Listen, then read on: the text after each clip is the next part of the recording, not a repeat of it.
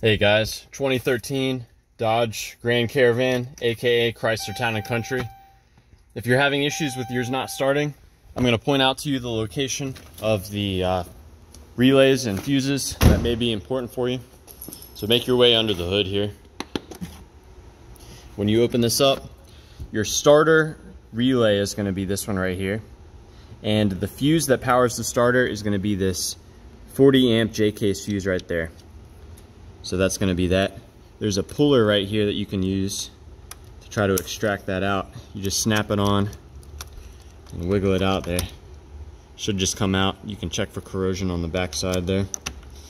Uh, there's a few other important things for you to check. There's a 10 amp fuse right there. That actually goes to the wireless module that detects the key.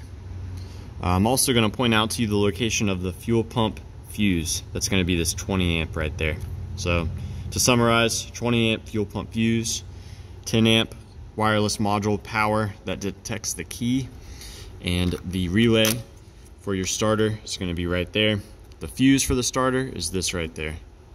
So yeah, I hope this helps you guys, and uh, let me know if you have any questions.